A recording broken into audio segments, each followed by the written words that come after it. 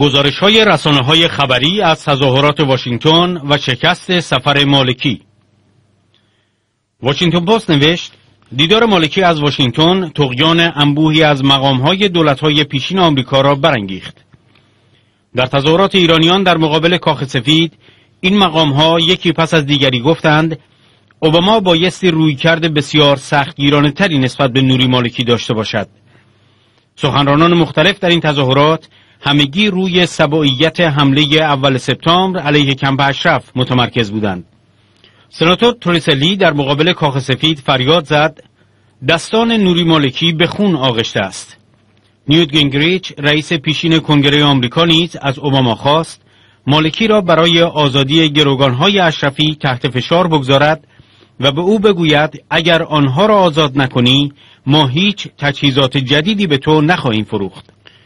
تام ریچ اولین وزیر امنیت داخلی آمریکا که در تظاهرات مقابل کاخ سفید سخنرانی می کرد با ضرباتی که روی تریبون می‌زد این نکته را برجسته کرد که آمریکا قول داده بود ساکنان اشرف حفاظت شوند اما به قول خود عمل نکرد. وی گفت من به رئیس جمهور التماس می کنم هر کمکی به دولت عراق را مشروط به جابجایی امن اعضای مجاهدین بکند از جمله هفت نفری که به گروگان گرفته شدند. اگر به این موضوع فکر کنید که چقدر آنها به ما اعتماد کردند ولی عکس آن اثبات شد حالتان به هم می‌خورد. وقتی تامریچ تریبون را ترک می کرد اشک در چشمانش حلقه زده بود. واشنگتن پست نوشت برخی عراقی ها نیز در میان جمعیت بودند. من جمله یک مسیحی 25 ساله که از آریزونا آمده بود و خواستار آن بود که رئیس جمهور راجع به طرز رفتار با اقلیت های مذهبی در عراق یعنی کشوری که قرار بود آزاد شده باشد فکر کند. این عراقی مسیحی گفت ما شاهد شکلگیری دیکتاتوری هستیم و امنیتی را هم که در گذشته داشتیم نداریم. نیویورک پست در گزارشی به قلم لیندا چاوز مدیر پیشین روابط عمومی کاخ سفید نوشت نخست وزیر عراق در بحبوحه یک تراژدی حقوق بشری از آمریکا دیدار می کند و آمریکا از به رسمیت شناختن رفتار وی سرباز می‌زند. این در حالی است که عراق به خاطر خشونت‌های فرقه‌ای که ماهانه بیش از هزار عراقی را به کشتن می‌دهد ویران شده است. سطح عمومی خونریزی در عراق بهانه‌ای به دولت اوباما داده تا حمله مرگباری را که دولت مالکی لااقل در آن مشارکت داشته نادیده بگیرد. در روز اول سپتامبر پناهندگان ایرانی در اشرف مورد حمله قرار گرفتند و پنجاب و دو تن به طور جمعی کشته شدند. آن هم در حالی که به این افراد مکررن قول حفاظت از سوی دولت آمریکا داده شده بود. در سال 2003 آمریکا های مکتوب شخصی به تک تک اعضای مجاهدین خلق در ازای تحویل کلیه سلاحهایشان داد. ولی زمانی که نیروهای آمریکایی در سال 2009 عراق را ترک کردند و مسئولیت حفاظت ساکنان را به عراقی ها تحویل دادند از آن پس کمپ اشرف و سپس کمپ لیبرتی مورد حملات مکرر قرار گرفتند از 2009 به این سو پنج تهاجم مختلف روی این دو کمپ باعث کشته شدن 112 تن از ساکنان و مجروح شدن صدها تن دیگر شده است. وکیل حقوق بشر جان گنسر و همکارانش بعد از مصاحبه با بازماندگان این حمله و بازنگری فیلم های گرفته شده از این حمله نوشتند شواهد و قوانین قابل اجرا بیانگر آن است که دولت عراق مسئول این حمله است.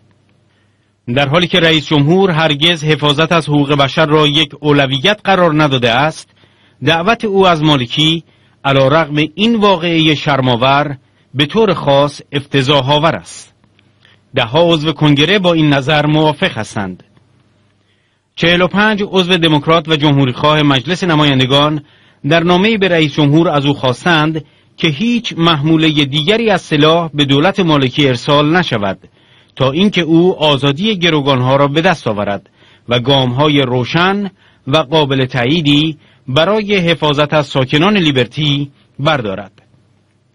علاوه بر آن شش سناتور شامل رئیس و عضو کمیته روابط خارجی سنا طی نامه‌ای به اوباما خواستار حفاظت بیشتر برای ساکنان از دولت مالکی شدند. در زمانی که کمتر توافق دو حزبی بر سر موضوعی به وجود می آید این نگرانی ها به طور همزمان توسط قانونگذاران دموکرات و جمهوریخواه ابراز می شود. الفرات اليوم موضوع حمله به کمپ اشرف متعلق به اپوزیسیون ایران جایگاه ویژه‌ای در گفتگوهای نوری مالکی با باراک اوباما داشت.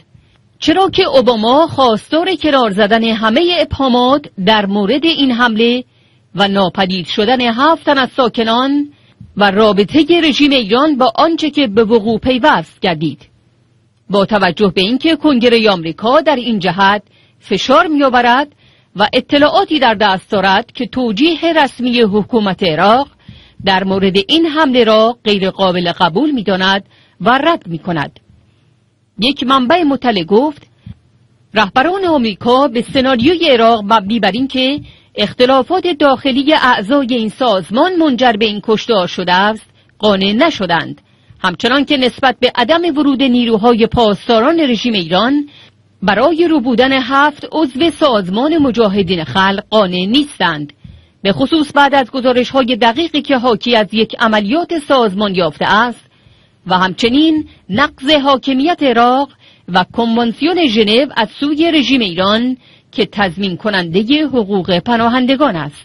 یک منبع گفت موضع تند آمریکا در مورد این موضوع و سایر های امنیتی و شراکت دردسرهای مالکی را اضافه کرده است.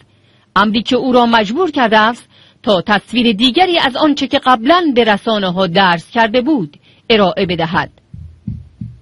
اریاس شپ عربستان در مطلبی با عنوان مالکی به شکنندگی دموکراسی در عراق اعتراف می کند نوشت همزمان با ملاقات مالکی و اوباما حامیان جنبش مجاهدین خلق در برابر کاخ سفید تظاهرات کردند و دولت عراق را به خاطر کشتار 52 تن از مخالفین ایرانی در قرارگاه اشرف در عراق در سپتامبر گذشته محکوم کردند.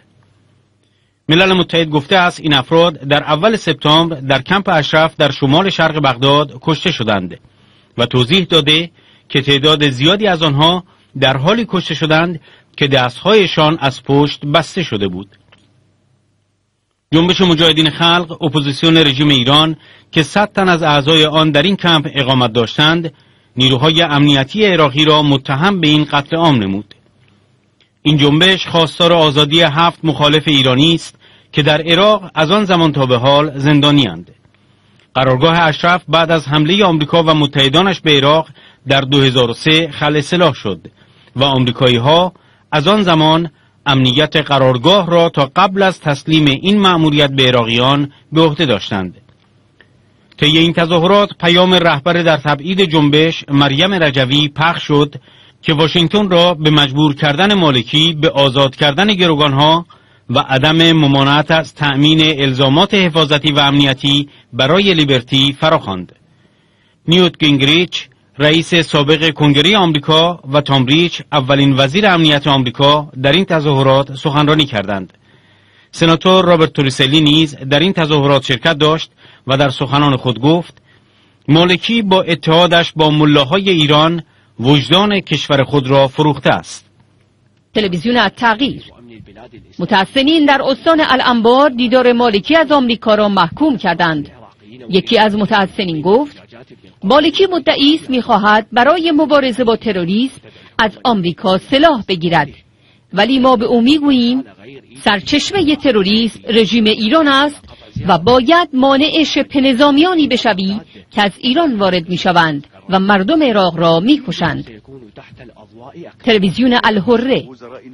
احمد الابیز تحلیلگر سیاسی از اردن در رابطه با نتایج سفر مالکی گفت در جریان ملاقات مالکی از طرف اوباما و وزیر دفاع و مسئولین امنیتی و سیاسی آمریکا در مورد وضعیت وخیم فعلی که عراق اکنون در آن در غلطیده نکات اساسی مطرح شد. مالکی برای اهدافی در این سفر طراحی و تلاش کرده بود. از نظر شخصی او تلاش می‌کرد که با رفتنش بتواند نه تنها برای سومین بار به حکومت برسد بلکه می‌خواست به او یک فرجه زمانی بدهند که انتخابات را به تأخیر بیندازد که این خواسته مالکی مورد قبول قرار نگرفت و رئیس جمهور آمریکا تاکید کرد که قانون انتخابات باید تایید شود و در موعد مقرر انتخابات باید انجام گیرد. هدف دیگری که مالکی نتوانست به آن برسد قانع کردن اعضای کنگره آمریکا بود و در این رابطه برخوردهای مستقیم با وی وجود داشت. باب کروکر گفت مالکی نمی‌تواند بفهمد که ما دقیقا چه می‌خواهیم و این مشکل مشکل فهم در مورد تفکر و ارزشهای دموکراتیک به عنوان یک سیستم و روش اداره است که در آمریکا اجرا می شود. در رابطه با همکاری امنیتی بین عراق و آمریکا و در مورد استفاده از هواپیماهای بدون سرنشین که خواست مالکی بود آمریکایی ها این مسئله را به تغییرات ریشه‌ای در سیاست های حکومت مالکی ربط دادند و به نظر من دادن این هواپیماها به عراق به یک بنیه سیاسی غیر از آنچه با اکنون در آن هستیم نیاز دارد تلویزیون الشرقیه دوری مالکی دیدارش از واشنگتن را کوتاه کرد و بعد از اینکه تعداد زیادی از قرارهای خود را لغو کرد تصمیم گرفت به بغداد برگردد. درباره دلیل این برگشت خبرها ضد و نقیض است. منابع دولتی می‌گویند وضعیت فوقالعاده در بغداد پشت دلیل کوتاه شدن دیدار مالکی است. ولی منابع آمریکایی گفتند مالکی نسبت به مواضع اعضای برجسته کنگره راحت نبوده است و همچنین آن تأییدی را که در پهنه داخلی و بین المللی درباره سیاستش دنبالش بود به دست نیاورده است. بهما خلیل نماینده پارلمان عراق از اطلاف کردی درباره دیدار مالکی گفت دیدار مالکی و اهدافی که او و هیئت همراهش به خاطر آن به آمریکا رفته بودند محقق نشده است.